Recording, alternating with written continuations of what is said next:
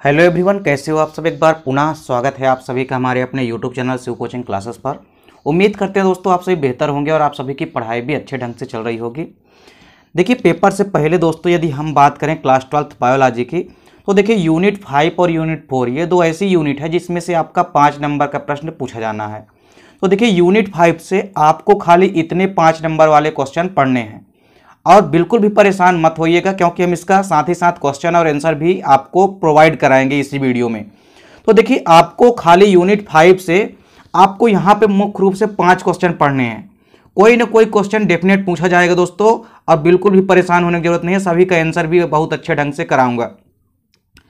हालाँकि इसके सभी के आंसर हमने पहले भी करा चुके हैं, आप यदि नहीं देखें तो प्लेलिस्ट में भी जा करके देख सकते हैं। लेकिन यहाँ पे आपको सभी के सभी इंपॉर्टेंट क्वेश्चन के आंसर जो है, एक ही साथ मिल जाएँगे।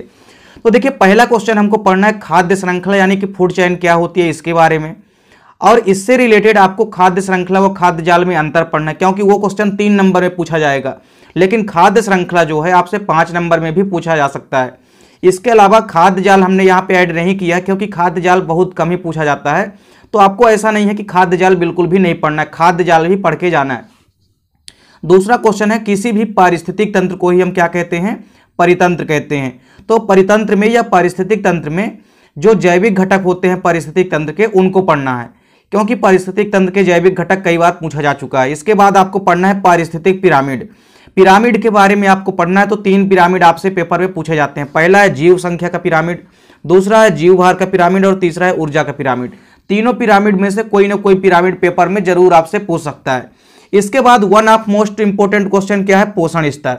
ट्रैफ़िक लेवल क्या होता है आपको समझाने के लिए कई बार आता है पेपर में कि पोषण स्तर कैसे होता है, पोषण स्तर को समझाइए। और आखिरी क्वेश्चन है कि परितंत्र में ऊर्जा का प्रवाह। आपसे इस क्वेश्चन को ऐसा भी दे सकता है अथवा करके कि पारिस्थितिक तंत्र में ऊर्जा का प्रवाह कैसे होता है, पहला तो ये दे सकता है या आपसे ऐसा भी पूछ सकता है कि पारिस्थितिक तंत्र में जो ऊर्जा का हास होता है वो कैसे होता है। तो आइए यहाँ पे एक एक करके हम सभी क्वेश्चनों के आंसर जो है आपको बताएँगे और वीडियो में सभी के सभी आंसर आपको प्रोवाइड कराएँगे। तो चलिए, पहला क्वेश्चन था हमारा कि परिस्थितिक तंत्र में जो जैविक घटक हैं, परिस्थितिक तंत्र में जैविक घटक को समझाना है। तो देखिए, किसी भी परिस्थितिक तंत्र में यदि जैविक घटक आपसे पूछता है जैविक घटक को समझाइए तो एपीओडम जो है, इन्होंने पारिस्थितिक तंत्र को मुख्य रूप से दो घटकों में या दो कंपोनेंट में डिवाइड किया। पहला था अजैविक घटक अजैविक घटक और दूसरा क्या है? जैविक घटक, यानी बायोटिक कंपोनेंट और अबायोटिक कंपोनेंट तो जैविक घटक या या बायोटिक कंपोनेंट जो है, आपके पेपर में पूछा जाता है। तो यहाँ पे आपको जैविक घटक देखना है। किसी भी इकोसिस्टम या परितंत्र में जो भी जैविक घटक है, वो आपको देखना है, क्योंकि पेपर में पारिस्थितिक तंत्र के जैविक घटक पूछा जाता है। तो देखिए बायोटिक कंपोनेंट या जैविक घटक की यदि हम बात करें तो देखिए, इसके अंतर्गत बेसिकली पारिस्थितिक तंत्र के सभी जैविक सदस्य आते हैं। मतलब ऐसे सदस्य जिनमें कि जीवन होता है, जो कि सभी के सभी जैविक सदस्य होते हैं। इसके एग्ज़ाम्पल के अंतर्गत देखिए कौन कौन आ सकते हैं। जैविक घटक में पादपों को रखा गया है, जंतुओं को या एनिमल्स को। इसके अलावा जो माइक्रो ऑर्गेनिज्म यानी सूक्ष्म जीव हैं, इनको भी जैविक घटक के अंतर्गत शामिल किया गया है। अब देखिए जैविक घटकों को तीन श्रेणियों में बांटा गया है। तो देखिए जैविक घटकों को तीन श्रेणियों में मुख्य रूप से बांटा गया है। पहला है उत्पादक या प्रोड्यूसर दूसरा है कंज्यूमर या उपभोक्ता, और तीसरा है अब घटक या डिकम्पोजर देखिए, यहाँ पे वीडियो में थोड़ा आपको फास्ट चलना है, क्योंकि आराम से यदि आपको वीडियो देखना है तो आप प्लेलिस्ट में जा करके वहाँ पे चैप्टर वाइज चैप्टर आप सर्च करके देख सकते हैं। देखिए, उत्पादक या प्रोड्यूसर की यदि हम बात करते हैं तो इसके अंतर्गत बेसिकली सभी ग्रीन प्लांट यानी हरे पौधे आते हैं, जो कि स्वपोषी होते हैं, यानी कि ऑटोट्राफिक होते हैं, जो कि अपना भोजन स्वयं बना सकते हैं। अर्थात ये प्रकाश संश्लेषण की क्रिया द्वारा अपना भोजन स्वयं बनाते हैं। यानी जो पहला पहला घटक है जैविक घटक का। जैविक घटक का जो पहला भाग है उत्पादक या प्रोड्यूसर ये सभी के सभी हरे पौधे होते हैं जिनमें कि स्वयं भोजन बनाने की क्षमता होती है और ये प्रकाश संश्लेषण द्वारा अपना भोजन स्वयं बनाते हैं। इसके एग्ज़ाम्पल हैं सभी हरे पौधे, यानी कि आल ग्रीन प्लांट तो सभी हरे पौधे उत्पादक का कार्य करते हैं। अब देखिए, इसके बाद दूसरे नंबर पे आते हैं उपभोक्ता। उपभोक्ता को हम इंग्लिश में कहते हैं कंज्यूमर्स देखिए, इसके अंतर्गत बेसिकली विषम पोषी सभी जीव आते हैं। उपभोक्ता के अंतर्गत विषम पोषी सभी जीव आते हैं। वे जीव जो उत्पादकों द्वारा निर्मित भोज्य पदार्थों का उपभोग करते हैं, उपभोक्ता कहलाते हैं। यानी यानी उत्पादकों का जो भक्षण करते हैं, वही क्या कहलाते हैं? उपभोक्ता कहलाते हैं। और ये प्रायः शाकाहारी, मांसाहारी या सर्वाहारी भी होते हैं। उपभोक्ता तीन प्रकार के होते हैं, शाकाहारी, मांसाहारी और सर्वाहारी, यानी हर्बीवोर्स, कार्निवोर्स और ओमनीवोर्स। चलिए, अब जो उपभोक्ता होते हैं, यानी कंज्यूमर्स होते हैं, ये पुनः तीन प्रकार के होते हैं। पहला है प्राथमिक उपभोक्ता या प्राइमरी कंज्यूमर्स प्राथमिक उपभोक्ता, देखिए क्या होते हैं, ये प्रायः अपना भोजन सीधे उत्पादकों से प्राप्त करते हैं। यानी ऐसे ऐसे उपभोक्ता जो कि अपना भोजन डायरेक्ट उत्पादकों से प्राप्त करते हैं, वे क्या कहलाते हैं, प्राथमिक उपभोक्ता। और प्राथमिक उपभोक्ता प्रायः शाकाहारी होते हैं, आपको याद रखना। इसके एग्ज़ाम्पल हैं चूहे, खरगोश, हिरण, बकरी आदि। यानी ये सभी जो चूहे, खरगोश, हिरण, बकरी हो गए, ये सभी के सभी शाकाहारी होते हैं, जो कि उत्पादकों का भक्षण करते हैं। दूसरे नंबर पे है द्वितीयक उपभोक्ता द्वितीयक उपभोक्ता या सेकेंडरी कंज्यूमर्स सेकेंडरी कंज्यूमर्स प्रायः मांसाहारी या सर्वाहारी प्रकार के होते हैं, तथा ये अपना भोजन शाकाहारी जंतुओं का शिकार करके प्राप्त करते हैं। शाकाहारी जो जंतु, यानी प्राथमिक उपभोक्ता को कौन खाते हैं? द्वितीयक उपभोक्ता खाते हैं। द्वितीयक उपभोक्ता के कई सारे एग्ज़ाम्पल हैं, जैसे मेढक, मछलियाँ, पक्षी, भेड़िया आदि। ये सभी के सभी द्वितीयक उपभोक्ता यानी कि सेकेंडरी कंज्यूमर्स के अंतर्गत आते हैं।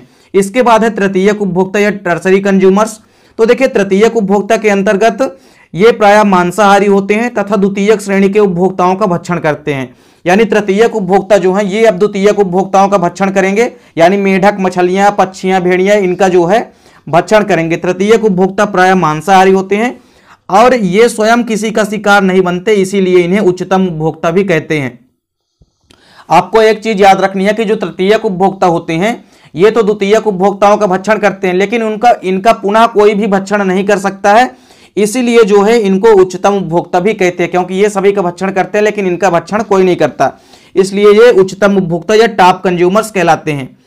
अब देखिए इसके एग्ज़ाम्पल कौन कौन से हैं तो बड़ी मछलियाँ जो आती है, ये छोटी मछलियों को खाती हैं। इसके अलावा बाज, चील, शेर आदि, ये सभी के सभी तृतीय उपभोक्ता यानी टॉप कंज्यूमर्स के एग्ज़ाम्पल हैं। अब देखिए इसके बाद जो तीसरा घटक है, वो है अब घटन करता या अब घटक तो अब घटक या डी कंज्यूमर्स क्या होते हैं? तो डिकम्पोजर्स क्या होते हैं? देखिए, ये प्राय मृतोपजीवी होते हैं। ये आपको याद रखना है कि जो अपघटक होते हैं, ये प्राय मृतोपजीवी यानी कि सेप्रोफाइट होते हैं। क्योंकि ये सभी के सभी मृत पदार्थों को खाते हैं। यानी जो जो जीव मृत हो जाते हैं, उनको ही अब घटक जो है, उनका भक्षण करते हैं। जैसे बैक्टीरिया, एक्टिनोमाइसिटीज तथा कवक आदि। ये तीनों के तीनों बेसिकली जो है, अब घटक के अंतर्गत आते हैं। कौन कौन से? बैक्टीरिया एक्टिनोमाइसिटीज और कवक, ये सभी क्या है? अपघटक हैं, यानी कि डिकम्पोजर हैं। और ये मृत जीवों के जटिल यौगिकों को अपघटित कर देते हैं और सरल यौगिकों में क्या कर देते हैं? तोड़ देते हैं। ये चीज़ आपको याद रखनी है, क्योंकि जो अपघटक होते हैं, ये जब जब तृतीयक श्रेणी के उपभोक्ता मृत हो जाते हैं तो उनका ये भक्षण करते हैं और जो जटिल यौगिक होते हैं, उसको तोड़ करके सरल यौगिकों में तोड़ देते हैं। सरल यौगिकों में तोड़ने के पश्चात क्या होता है? कुछ भाग तो अपघटनकर्ता द्वारा पुनः अवशोषित कर लिया जाता है और जो शेष भाग बचता है, वो वातावरण में पुनर्चक्रण के लिए छोड़ दिया जाता है। और यह पूरे का पूरा जो साइकिल है, प्राथमिक उपभोक्ता यानी मुख्य रूप से उत्पादक से लेकर के जो अपघटक तक का ये साइकिल है, ये क्रमशः चलता रहता है। तो यानी पारिस्थितिक तंत्र के जैविक घटक आपको अच्छे से तैयार करना है। दूसरा क्वेश्चन है हमारा। अब दूसरा क्वेश्चन देखते हैं, पोषण स्तर यानी कि ट्रैफ़िक लेवल क्या होता है? देखिए, यदि पेपर में आपसे पूछता है, पोषण स्तर क्या है? तो उसको आपको विधिवत समझाना क्योंकि छोटा सा आंसर है, और ये कई बार पेपर में रिपीट होता है। यानी कि पेपर के लिए one of most important question है। देखिए, पोषण स्तर या ट्रैफ़िक लेवल किसे कहते हैं? तो पारिस्थितिक तंत्र के सभी जो जैविकीय स्तर होते हैं, वो एक दूसरे पर निर्भर होते हैं, जिसके कारण ही पारिस्थितिक तंत्र या इकोसिस्टम में उत्पादक एवं उपभोक्ताओं के विन्यास के परिणाम स्वरूप ही एक सुनिश्चित क्रम उत्पादक से शुरू होकर उपभोक्ताओं के विभिन्न समूहों के बीच खाया एवं खाए जाने की प्रक्रिया के कारण बनता है, जिसे ही हम पोषण स्तर कहते हैं। यानी जीवों का जो भोज्य पदार्थ है, यानी जो भोजन है, वो उत्पादक से लेकर के अपघटक तक पहुँचने का ये जो क्रम होता है, पोषण का, यानी कि भोजन का, इनका जो एक स्तर बन जाता है, क्रम बन जाता है, इसी को हम क्या कहते हैं, पोषण स्तर या ट्रैफ़िक लेवल कहते हैं। अब देखिए, प्रत्येक पारिस्थितिक तंत्र में जो उत्पादक होते हैं, उत्पादक को हम प्रोड्यूसर कहते हैं, या उत्पादक ही क्या होते हैं, हरे पौधे होते हैं तो प्रत्येक पारिस्थितिक तंत्र में जो उत्पादक या हरे पौधे होते हैं, ये प्रथम भोजन स्तर, यानी कि पोषण स्तर फ़र्स्ट बनाते हैं। यानी पोषण स्तर फ़र्स्ट को हम टी से दर्शाते हैं, यानी ट्रैफ़िक लेवल फ़र्स्ट बनाते हैं। तो जो उत्पादक हो गए, चूँकि यहाँ से ही भोजन का स्तर जो है प्रारंभ होता है तो टी यानी कि पोषण स्तर फ़र्स्ट जो है उत्पादक कहलाते हैं। फिर देखिए, अगले स्टेप में क्या होगा कि पौधों का संचित भोज्य पदार्थ जो है शाकाहारी जंतुओं के द्वारा उपयोग में लाया जाता है। अब देखिए, जो टी वन है, यानी जो जो पोषण स्तर फ़र्स्ट है, यानी जो उत्पादक है, उत्पादकों को अब कौन खाते हैं? शाकाहारी जंतु खाते हैं, यानी प्राथमिक उपभोक्ता के जंतु खाते हैं। तो प्राथमिक उपभोक्ता के जंतु अब क्या कहलाएँगे? पोषण स्तर सेकंड कहला जाएँगे। इसी प्रकार प्राथमिक उपभोक्ता को द्वितीय उपभोक्ता खाएँगे। तो द्वितीय उपभोक्ता जो है ट्रैफ़िक लेवल थर्ड कहला जाएँगे, यानी पोषण स्तर थर्ड कहलाएँगे। इसी प्रकार क्रमशः आप देख सकते हैं कि जो द्वितीय जो द्वितीय उपभोक्ता होते हैं, वो बाद में तृतीय श्रेणी के उपभोक्ताओं के द्वारा भोजन के रूप में ग्रहण किए जाते हैं। अब जब तृतीय श्रेणी के उपभोक्ता जो है, इनको ग्रहण कर लेते हैं तो ये पोषण स्तर क्या कहलाएँगे? थर्ड कहलाएँगे। और इसके बाद देखिए, पोषण स्तर जब तृतीय श्रेणी के उपभोक्ताओं को, चतुर्थ श्रेणी के उपभोक्ता जो ग्रहण करेंगे, ये क्या कहलाएँगे? पोषण स्तर फोर्थ कहलाएँगे। तो इस प्रकार से देखिए, सबसे पहले क्या होता है कि जो प्रत्येक पारिस्थितिक तंत्र में जो उत्पादक होते हैं उत्पादक ही क्या होते हैं? बेसिकली जो होते हैं उत्पादक, ये सभी के सभी हरे पौधे होते हैं। तो उत्पादक या या हम कह सकते हैं हरे पौधे जो होते हैं, ये तो पोषण स्तर फ़र्स्ट कहला गए। अब इन उत्पादकों को कौन खाएँगे? उत्पादकों को प्रथम भोजन स्तर, यानी कि मुख्य रूप से शाकाहारी जंतुओं के द्वारा उपयोग मिला जाता है। तो शाकाहारी जंतु, यानी कि प्राथमिक श्रेणी के उपभोक्ता जब इनको खाएँगे तो वो पोषण स्तर सेकंड कहलाएँगे। और फिर शाकाहारी जंतु, यानी कि जो प्राथमिक उपभोक्ता के जंतु हैं उनको कौन खाएगा? द्वितीय श्रेणी के उपभोक्ता कहलाएँगे। जो कि शाकाहारी जंतु अर्थात प्राथमिक उपभोक्ता बाद में जो है द्वितीय उपभोक्ता के द्वारा भोजन के रूप में ग्रहण किए जाते हैं, जिन्हें तृतीय पोषण स्तर कहते हैं। यानी जो द्वितीय उपभोक्ता है, ये जो है तो फिर प्राथमिक उपभोक्ता को खाएँगे और ये तृतीय पोषण स्तर का निर्माण करेंगे, यानी ट्रैफ़िक लेवल थर्ड का निर्माण करेंगे। उसी प्रकार जब तृतीय पोषण स्तर के जंतु जो हैं, सर्वोच्च मांसाहारी, यानी कि तृतीय उपभोक्ता द्वारा ग्रहण किए जाते हैं तो तृतीय उपभोक्ता जो, के जो जंतु होते हैं, तृतीय उपभोक्ता वाले जंतु जो है, पोषण स्तर थर्ड, फोर्थ का निर्माण करते हैं, यानी ट्रैफ़िक लेवल फोर्थ का निर्माण करेंगे। इसी प्रकार जीवों की मृत्यु के पश्चात क्या होता है? जो शरीर के उत्सर्जी पदार्थ होते हैं, उनका उपयोग जो है अपघटन करते हैं, अर्थात सूक्ष्म जीव करते हैं, और ये पाँचवें पोषण स्तर, यानी कि टी फाइव का निर्माण करते हैं। तो आपको यहाँ पे देखना है कि जो हरे पौधे होते हैं, वो प्राथमिक वो प्राथमिक पोषण स्तर कहला गए। उसके बाद जो प्राथमिक उपभोक्ता होते हैं, ये द्वितीय पोषण स्तर कहला गए। फिर जो द्वितीय उपभोक्ता होते हैं, ये तृतीय पोषण स्तर कहला गए। फिर जो तृतीय उपभोक्ता होते हैं, ये चतुर्थ पोषण स्तर का निर्माण करते हैं। और फिर जो अब घटक होते हैं, ये पाँचवें पोषण स्तर का निर्माण करते हैं। तो इस प्रकार से पोषण स्तर जो है, क्रमशः उत्पादकों से शुरू होकर अब घटक तक जाता है और कई सारे ट्रैफ़िक लेवल्स का निर्माण करते जाते हैं, यानी कि पोषण स्तर का निर्माण होता जाता है। और जितने पोषण स्तर की दूरी तय करेगी, उतना ही पोषण स्तर जो है यानी कि ट्रैफ़िक लेवल का निर्माण जो है बढ़ता जाएगा। अब इसके बाद आपको देखना है यहाँ पे कि जो खाद्य श्रृंखला होती है वो क्या होती है। यानी तीसरा क्वेश्चन एक हमारा क्या है? खाद्य श्रृंखला क्या होती है? देखिए, खाद्य श्रृंखला या फ़ूड चैन को जल्दी से समझते हैं। तो किसी भी परितंत्र में जो उत्पादक होते हैं, उत्पादक से लेकर के उच्च उपभोक्ता तक जो खाद्य पदार्थों या खाद्य ऊर्जा के स्थानांतरण का क्रमबद्ध प्रवाह पथ होता है, उसी को हम खाद्य श्रृंखला कहते हैं। यानी पर्टिकुलर किसी भी इकोसिस्टम या परितंत्र में जो भी उत्पादक होते हैं, उनसे लेकर के उच्च उपभोक्ता तक के जो खाद्य पदार्थ जीव होते हैं, उनमें जो खाद्य पदार्थों में जो ऊर्जा का स्थानांतरण होता है, वो एक क्रमबद्ध प्रवाह होता है। तो उस क्रमबद्ध प्रवाह पथ को ही हम खाद्य श्रृंखला कहते हैं। यानी खाद्य का जो एक श्रृंखला से दूसरी श्रृंखला में प्रवाह होता है, वही खाद्य श्रृंखला कहलाता है। किसी भी देखिए, परितंत्र की जो खाद्य श्रृंखला है, जितनी ही बड़ी होती है, उस परितंत्र में ऊर्जा प्रवाह के समय ऊर्जा का हास उतना ही अधिक होता है। अब चूँकि यदि खाद्य श्रृंखला ही बड़ी है तो ज़ाहिर सी बात है कि ऊर्जा का हास जो है, ज़्यादा होगा। और जितनी खाद्य श्रृंखला छोटी होगी, ऊर्जा का जो प्रवाह होगा या ऊर्जा का जो हास होगा, वो उतना ही कम होता है। सबसे पहले हम देखते हैं घास के परितंत्र में खाद्य श्रृंखला।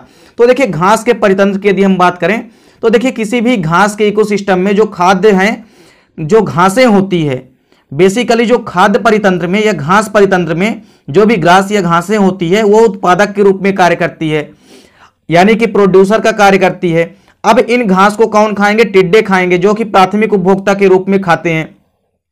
और इन टिड्डकों को फिर कौन खाते हैं? मेढक खाता है। तथा मेढक जो है द्वितीय उपभोक्ता होता है। उसी प्रकार मेढक को सांप खाते हैं और सांप जो है तृतीय उपभोक्ता कहलाते हैं। और फिर सांप को कौन खाएगा? मोर खाते हैं, जो कि चतुर्थ उपभोक्ता कहलाते हैं। इस प्रकार ये एक सीधी खाद्य श्रृंखला का निर्माण कर सकते हैं। तो देखिए, सबसे पहले जो पादक है, जो पादप हैं, यानी कि जो हरे पौधे हैं, उत्पादक हैं, ये तो क्या हो गए? उत्पादक हो गए। फिर उत्पादकों को किसने खाया? हिरण खाई, यानी हिरण जो है प्राथमिक उपभोक्ता के अंतर्गत आती है। हिरण को कौन खाया? भेड़िया खाया। भेड़िया को कौन खाया? फिर शेर खाया। तो यहाँ पे आप देख भी सकते हैं कि उत्पादक को प्राथमिक उपभोक्ता खाया, प्राथमिक उपभोक्ता को द्वितीय उपभोक्ता, फिर बाद में तृतीय उपभोक्ता खाया। तो इस प्रकार से एक खाद्य का श्रृंखला, श्रृंखलाबद्ध जो है क्रम हो रहा है। यानी जो पादप हैं, इनको सबसे पहले किसने खाया? हिरण खाया। फिर इसके बाद हिरण को भेड़िया भेड़िया से शेर इस प्रकार से खाद्य पदार्थों का एक जो है क्रमबद्ध श्रृंखला का प्रवाह पथ हो रहा है, और यही तो है खाद्य श्रृंखला। तो यदि आपसे पूछता है किसी भी घास के परितंत्र में तो घास के परितंत्र में आपको देखना है कि यहाँ पे आपको यदि घास के परितंत्र में एग्ज़ाम्पल के थ्रू समझना है तो देखिए किसी भी घास परितंत्र में जो खाद्य श्रृंखला होती है इसमें सूर्य सूर्य जो होता है वो सोलर एनर्जी यानी कि सौर ऊर्जा का प्रमुख स्रोत होता है। सूर्य से जो एनर्जी हरे पौधे प्राप्त करेंगे, उत्पादक। उत्पादक बेसिकली हरे पौधे होते हैं। उत्पादकों को किसने खाया? मान लीजिए टिड्डे ने खाया, जो कि प्राथमिक उपभोक्ता कहला गया टिड्डे को फिर किसने खाया? मेढक खाया, जो कि द्वितीय उपभोक्ता कहलाता है। तो द्वितीय उपभोक्ता मेढक को किसने खाया? सांप ने खाया और सांप तृतीय उपभोक्ता कहलाता है। और सांप को फिर किसने खाया? मोर। तो मोर यहाँ पे चतुर्थ उपभोक्ता कहला गया। और पोषण स्तर कौन सा हो जाएगा? फाइव। तो आपको यहाँ पे बताना है, यदि आपसे पूछता है कि किसी भी घास परितंत्र में खाद्य श्रृंखला तो आपको सेम यही एग्ज़ाम्पल समझाना है कि हरे पौधों को टिड्डा खाया टिड्डे को मेढक मेढक को सांप सांप को मोर, और इस प्रकार से जो है एक खाद्य श्रृंखला का निर्माण हो जाता है। लेकिन यदि आपसे पूछता है किसी भी वन परितंत्र में तो यदि आपसे वन परितंत्र में खाद्य श्रृंखला पूछता है तो आपको बताना है कि किसी भी वन परितंत्र में जो पादप होते हैं, ये उत्पादक होते हैं, इनको फिर हिरण खाते हैं, हिरण जो है प्राथमिक उपभोक्ता कहलाते हैं हिरण को फिर भेड़िया खाता है, भेड़िया द्वितीय उपभोक्ता कहलाता है और भेड़िया को शेर खाता है, जो कि तृतीय उपभोक्ता कहलाता है। तो आपको यहाँ पे खाद्य श्रृंखला समझ में आ गई होगी। ये तीनों क्वेश्चन पेपर के पॉइंट ऑफ़ व्यू से काफ़ी इंपोर्टेंट है।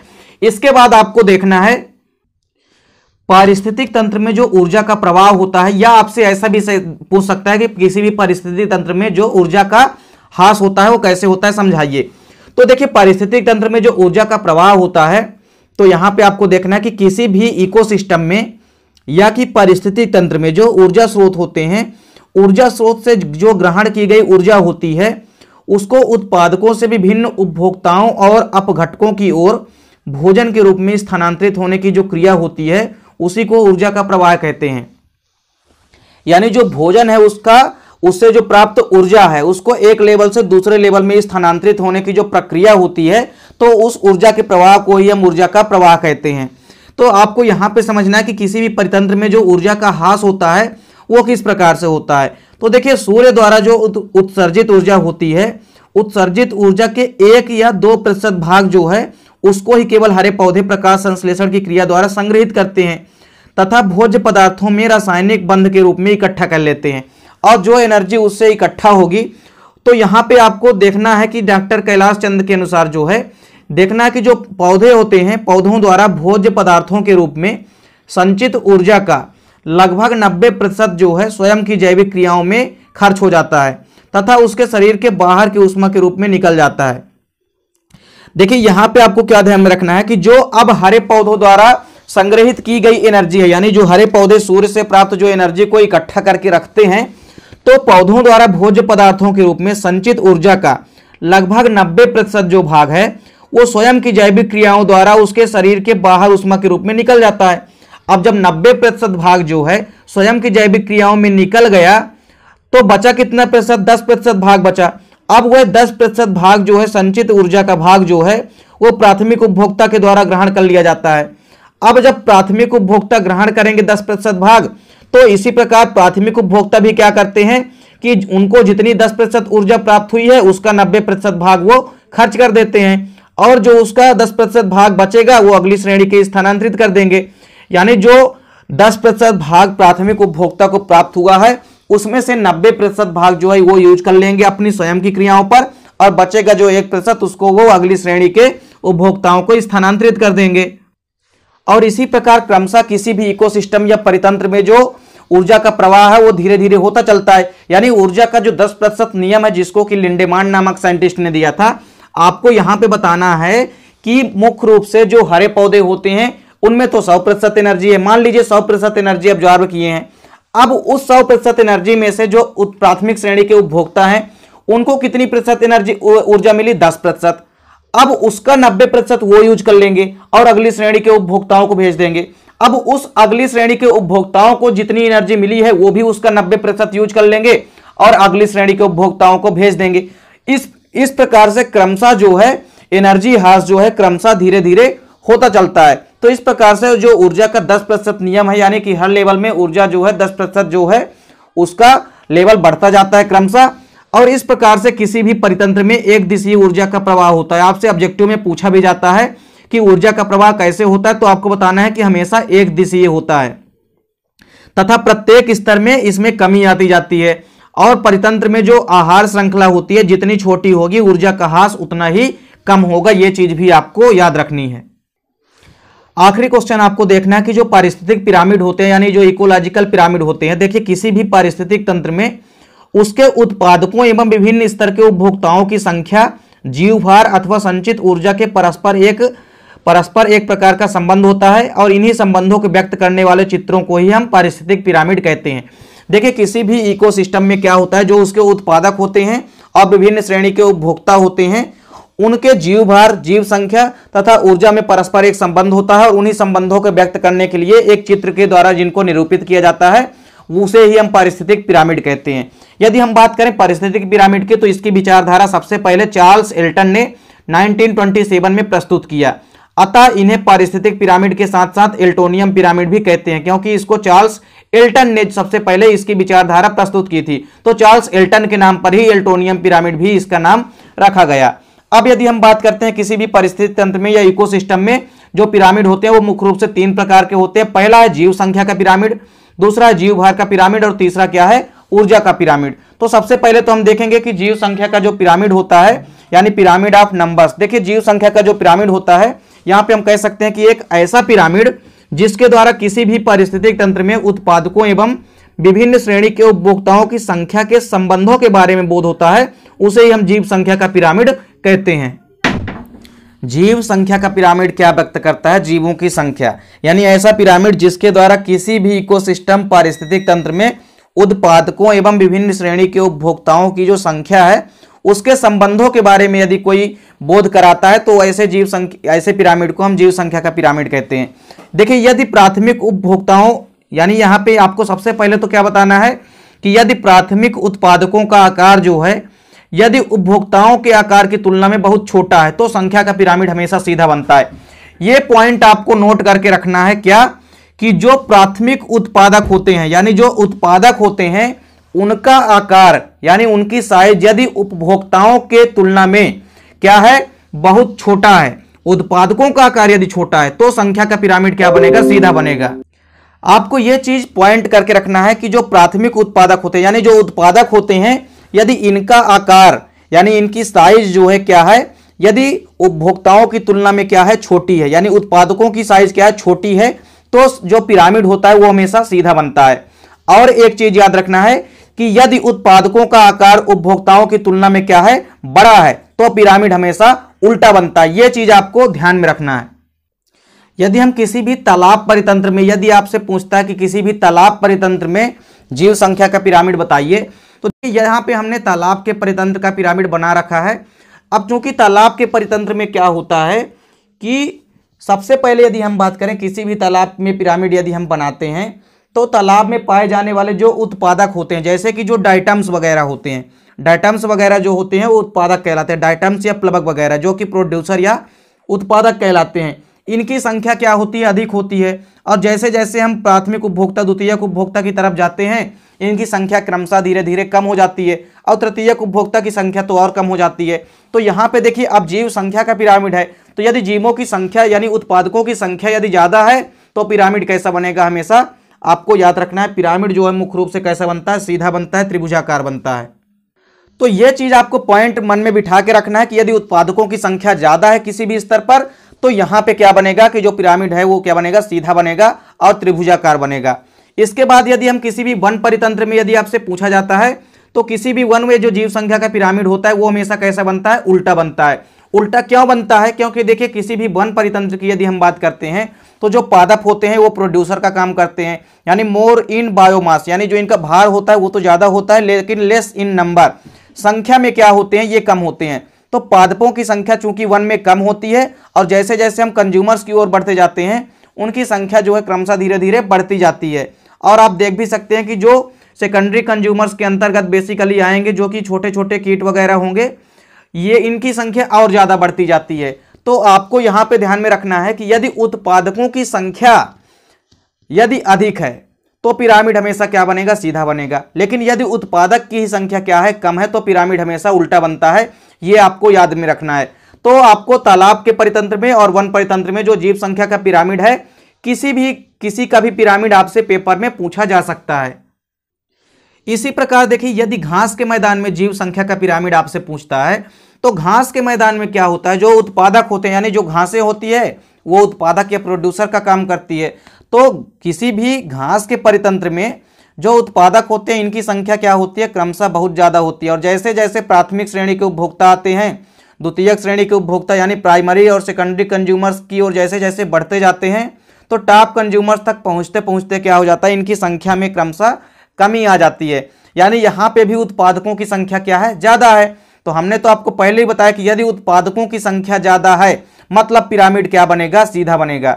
तो किसी भी यदि घास के मैदान में जीव संख्या का पिरामिड पूछता है तो आपको पता होना चाहिए कि कैसा बनेगा, हमेशा सीधा पिरामिड बनता है।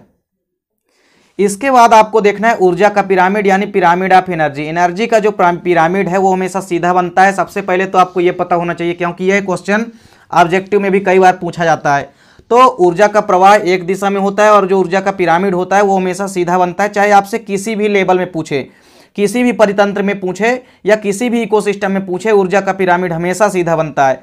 देखिए, यदि ऊर्जा के पिरामिड की बात करते हैं तो देखिए, यदि हम बात करते हैं, सबसे पहले जो उत्पादक होते हैं, इनकी एनर्जी क्या होती है? ज़्यादा होती है।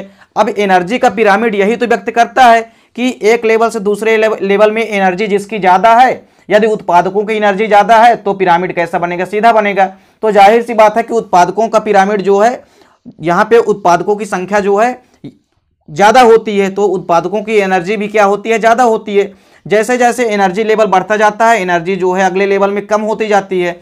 और जब अगले लेवल में एनर्जी कम होती जाती है तो इस प्रकार से ऊर्जा में कमी आती जाती है और ऊर्जा का पिरामिड हमेशा सीधा बनता है। यदि उत्पादकों की एनर्जी ज़्यादा है मतलब ऊर्जा का पिरामिड क्या बनेगा?